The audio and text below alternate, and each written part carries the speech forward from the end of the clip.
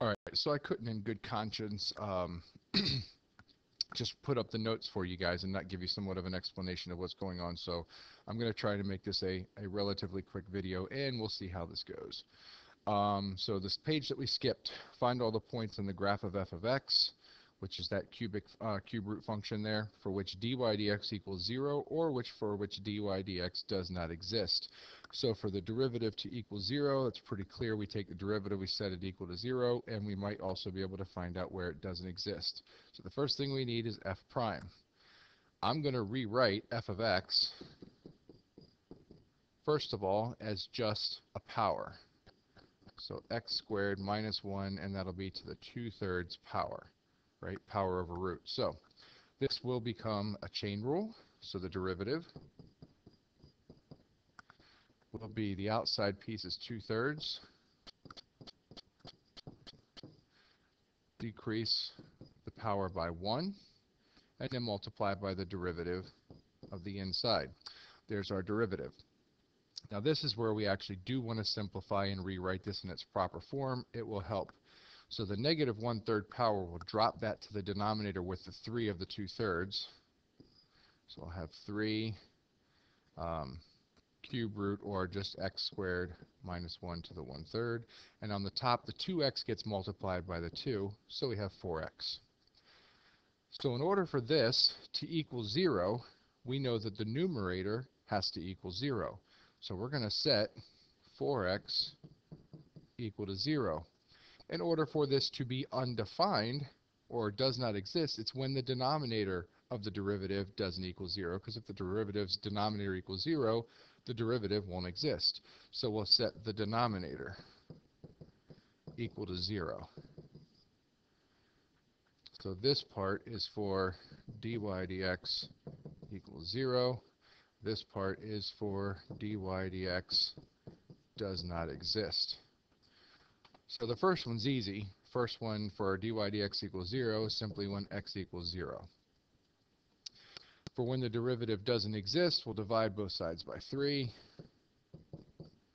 The good thing is dividing by 0 by 3 is still 0.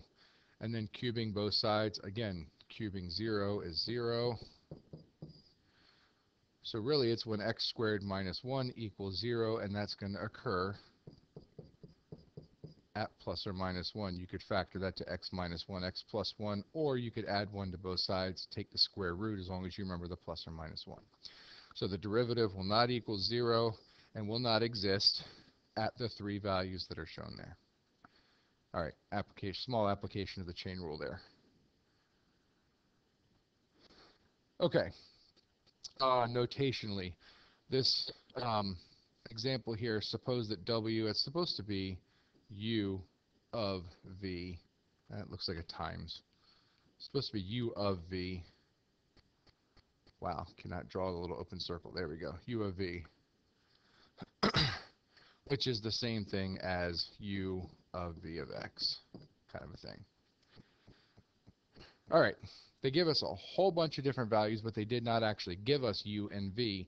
What we know is that w is defined to be the composite of u and v. So if I want to find w prime of 0, the first thing I need is w prime of x in general. Well, this is w. So it's the derivative of the outside piece, u prime of v of x, times the derivative of the inside piece, v prime of x and then we have values. Let's see, v prime of, oh, we got to plug in 0, sorry. So w prime of 0 is u prime of v of 0 times v prime of 0. So v of 0, we know it's given to us. v of 0 is right here. That's 2, so that gets plugged in there. And v prime of 0 is right here. That's 5. And then I also know u prime of 2, that is here, so that's 4. So we get 4 times 5, which is 20. All right, hopefully you guys are good there following that in general. They added a whole bunch of other values that were not necessary, but that's going to that's going to happen sometimes. Okay. We did the first one here, f of f prime, I'm going to go ahead and fill out g of g here. So we want g, capital G prime of 3, so we need g prime of x, which is outside derivative times the inside derivative. And we want that at 3. So g prime of g of 3 times g prime of 3. So go up to our chart here. So g of 3, g of 3, that's 2. So I'll have g prime of 2, and then g prime of 3 is 9. And then g prime of 2 is 7. So 7 times 9 is 63. All right, the one I really wanted to make sure we got to was number 3. This one takes a little bit longer just because um, there's a little extra math to do here. So we want to find, according to this, g prime of 1. And g of x is defined as f of f of x. What you should notice here, however, is that I've, they've given me x, they've given me f of x. If I want to find g prime in general, it's the derivative of the outside times the derivative of the inside. They did not give me anything of f prime. I can figure out one of these pieces though. I am looking for g prime of 1. So that's going to be f prime of f of 1 times f prime of 1. The one that I do know is f of 1. That's given to me. When x is 1, the f function is 2.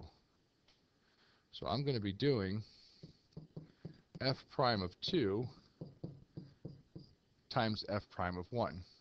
But if we read the, um, the directions carefully, it says use the table to estimate the value of g prime of 1. And that's because we cannot find the exact value of g prime of 1 here. We don't have enough information. But we do have enough information to estimate it. Specifically, remember that the derivative is the slope. And if we don't have a way to find the exact slope, the best that we can do is estimate. And that's going to happen an awful lot, especially in real life circumstances. So, f prime of 2. Well, here's where x equals 2. I know the values that surround 2. For example, this is another x value, and these two are y values. So if I want to estimate the slope around 2, I can do a y2 minus y1 over an x2 minus x1 and get at a secant slope, which is a good estimate, or an average. But that's only an average on the high side. I probably want to average the low side as well. So I can do y2 minus y1 over x2 minus x1, and both of those values equally surround 2, because the x values are exactly 0.5 away on both sides. And then I can average those two. So really it's just doing two average slopes and then averaging that. So over here, f prime of 2 will be approximately equal to the two average slopes averaged. So let's see what we get. First one will be 4.4 minus 3.1 over 2.5 minus 2. So let's see, the numerator, 4.4 minus 3.1 is 1.3 over 0.5, which if I multiply the top and the bottom by 10, you get 13 fifths. The other side of this is going to be if I do 3.1 minus 2.4 over 2 minus 1.5. That's going to be 0.7 over 0.5. Again, multiplying top and bottom by 10 is 7 fifths.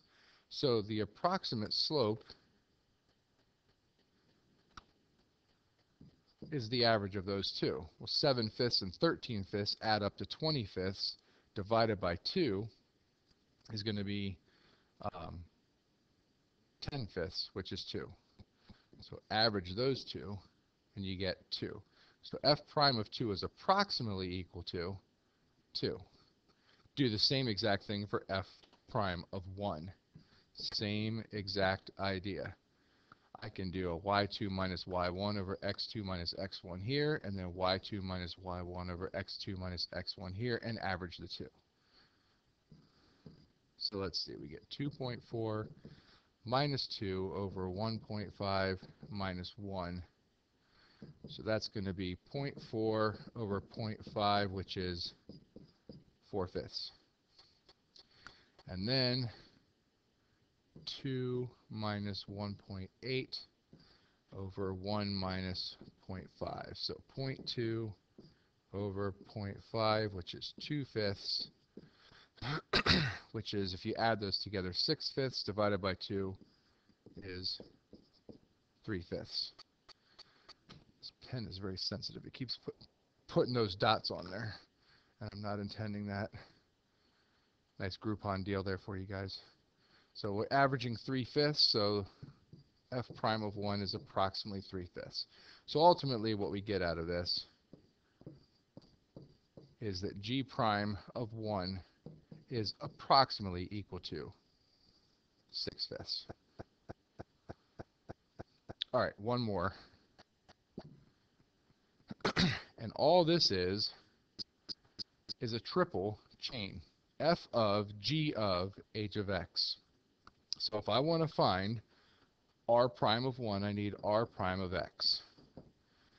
So we take the derivative of the outsidemost piece, that's f, f prime of g of h of x. Sometimes keeping the parentheses is the hardest part. Looks like that's right.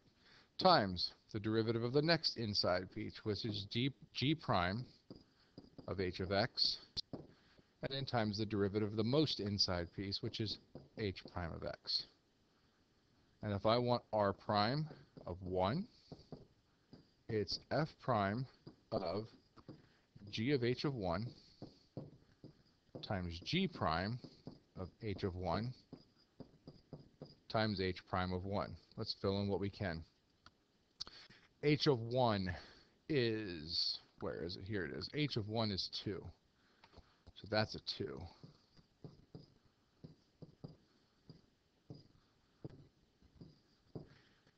h of 1 is 2. h prime of 1, however, is somewhere up here, right here, 4. All right, let's see what else we need. g prime of 2. G prime of 2 is right here. That's 5.